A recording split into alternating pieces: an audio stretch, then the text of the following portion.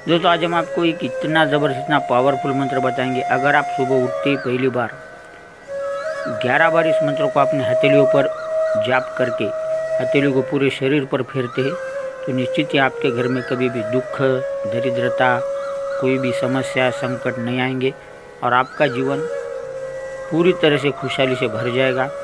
आपके घर में कभी पैसों की कमी नहीं होगी। तो दोस्तों, चलिए जानते हैं, शक्तिशाली मंत्र आपको किस तरह से पाठ करना है। तो दोस्तों, आप किसी भी शुक्रवार से इस प्रयोग को शुरू करें।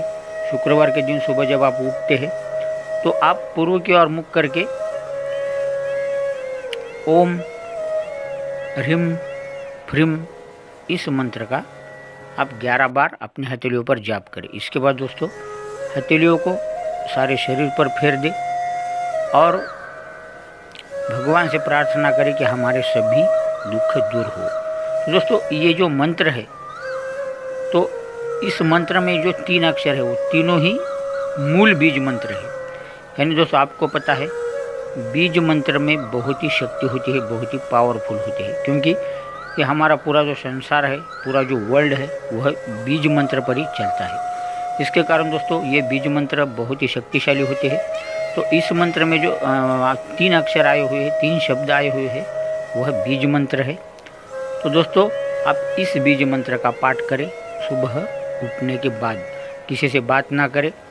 सबसे पहले आप पूर्व की ओर मुख करके दोनों हथेलियाँ फैले और दोनों हथेलियों के, दोनों हथेलियों पर इस मंत्र का आप केवल 11 बार जाप करके पूरे शरीर पर इसको फेर दें। तो दोस्तों, लगातार अगर आप इसी प्रकार से कुछ दिन तक ये साधना करते हैं तो आपके शरीर में चेंजेस आने प्रारंभ होंगे। आपके घर में जितनी निगेटिव एनर्जी है वो बाहर चली जाएगी। आपके घर में पैसा आने लगेगा।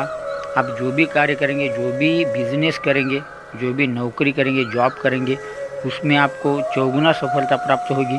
अगर आपके कोई कार्य रुके हुए हैं तो वह पूर्ण हो जाएँगे। तो दोस्तों, आपको सभी तरह के प्रकार की सुख इस बीज मंत्र से मिल सकते हैं।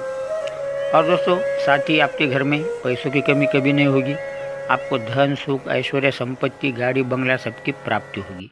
तो दोस्तों बहुत ही शक्तिशाली बीज मंत्र है। यह मंत्र है तारा देवी का।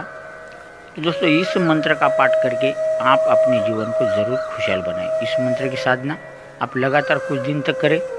इसमें ऐसा कोई बंधन नहीं है कि इतने ही दिन साधना आपकी, आपको करनी पड़ेगी। दोस्तों, आप जितने हो सके उतने दिन तक यह प्रयोग करते रहे।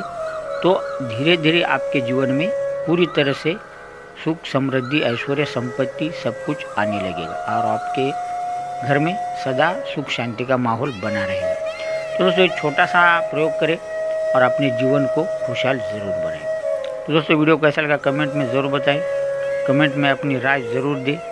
वीडियो को ज़्यादा से ज़्यादा लाइक, शेयर करें। इसी तरह के वीडियो देखने के लिए चैनल को सब्सक्राइब करके बेल का बटन ज़रूर दबाएँ। तो दोस्तों, मिलते हैं अगली वीडियो में एक और नई जानकारी के साथ। ये वीडियो देखने के लिए आपका बहुत बहुत धन्यवाद।